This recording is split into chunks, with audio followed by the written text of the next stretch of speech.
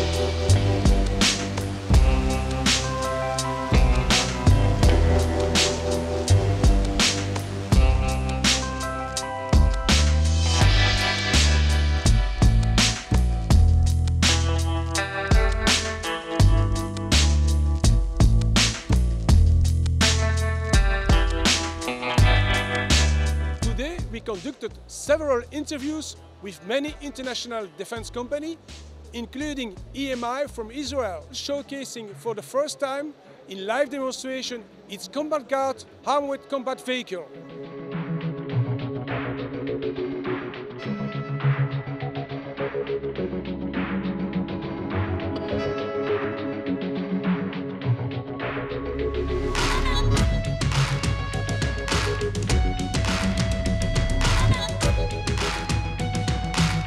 As you can uh, see here in the pictures and uh, earlier in the demonstrations, this vehicle is very unique and very different from all other uh, protected uh, vehicle.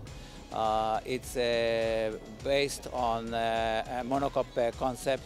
The capsula is well protected, which gives fully protect to the soldiers that drive in inside the vehicle and uh, it's not based on a, commercial vehicle that added on the protections. That give it a very high mobility with a very uh, good uh, maneuverability and uh, added uh, also a high payload of ammunitions and other equipment.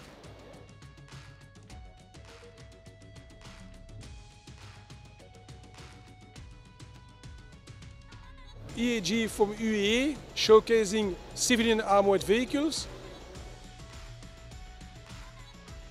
To meet operational requirements while maintaining a low profile and offering a larger payload, IAG has introduced the Isuzu D-Max pickup truck armored to CEN B6 level. The vehicle is also upgraded with heavy-duty suspension and braking components in order to cope with the added armoring weight and offering seating for up to five persons, including the driver. CZ company from Czech Republic, a very important producer of, of small arms. CZ is very in- important and very famous producer of uh, firearms in the world. We are thinking that we are in a top five companies on that field in the world. The weapon is very modern. I think it's the lastest submachine gun on the on the world because all the competitors have older models, older designs. So the advantage of the gun is light, the lightest weight. There is four rails around, very easy loading and unloading of the magazine. For Asian market, we are expecting that we will get the Scorpion to be the same famous gun like the predecessor, and we are looking especially for the special forces and Chaiseri from Thailand, who present a full range of 4x4 infantry combat vehicles. Uh, Chaiseri is a land system company. We have been in this business for 45 years. And right now we introduce our vehicle, the armor vehicle APC, as you can see here. This one here is the APC version. Uh, it's a light hand dive. We use uh, this platform to support the Middle East market. Okay, in terms of mobility, uh, we use a Cummins engine 300 horsepower, very high horsepower. Uh, in terms of protection, we can get the maximum up to standard level 3 uh, against the 7.62 AP. Uh, in terms of my blast, can, can list it up to 8 kg of TNT. NIMR from UAE, who present its Ajban 4x4 armored combat vehicle. We are new. We have a very good uh, vehicle. We proved it. We tested. Passed UAE requirement. Armed forces. It's there. It's in operation.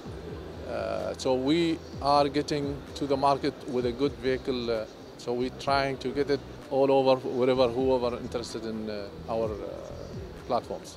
It is important for us as we exhibit uh, all over the world in UAE, IDEX, and other shows in Europe. Uh, we are glad to be here in uh, Bangkok and this part of the world to show our products to, the, to this part of the world.